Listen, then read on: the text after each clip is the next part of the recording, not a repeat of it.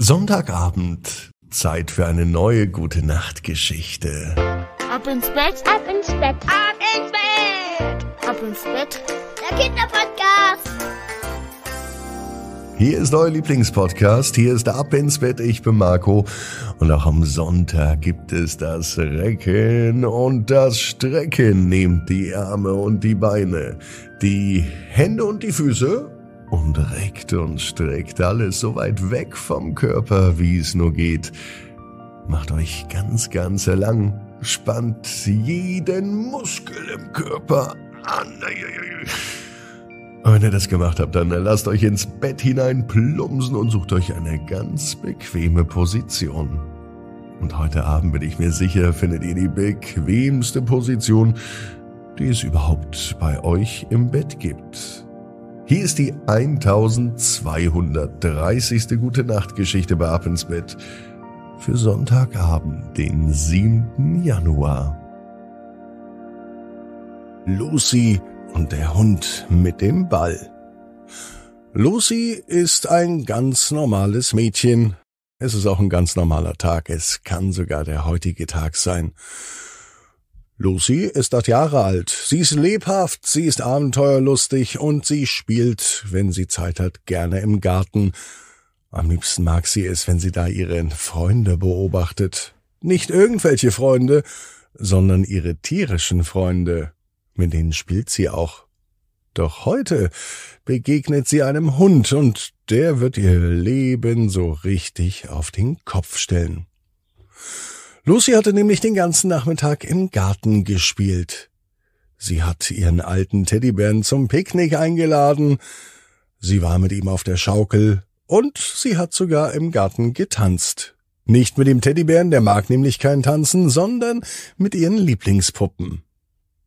Zum Ende des Tages setzte sie sich noch auf eine Bank und sie sah die Abendsonne, wie sie unterging, wie sich der Himmel verfärbte in ein wunderschönes Rot.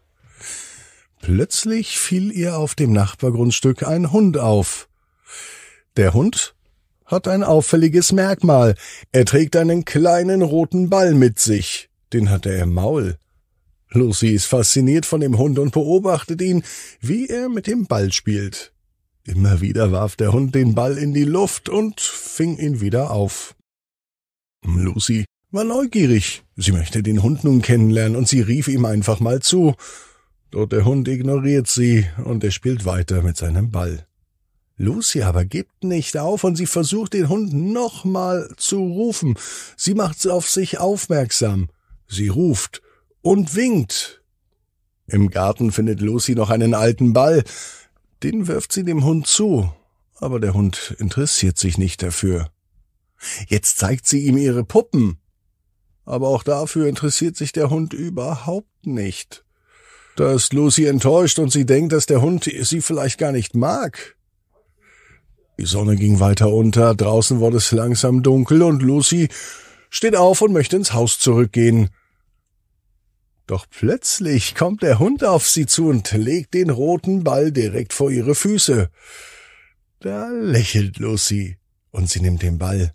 Sie war nun überglücklich, dass der Hund doch mit ihr spielen möchte. Gemeinsam spielen sie, bis es wirklich dunkel war. Den Ball werfen sie hin und her. So viel Spaß hat Lucy schon lange nicht mehr gehabt.